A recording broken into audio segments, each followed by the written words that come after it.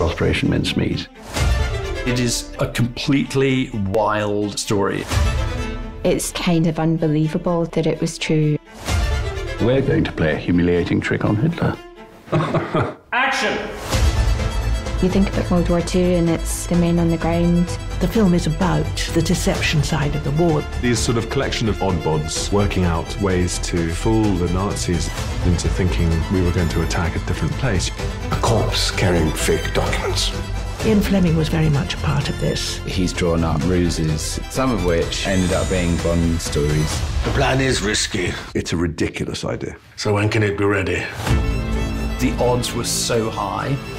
If it went wrong, it would have been catastrophe. I may vomit. We have a war to win.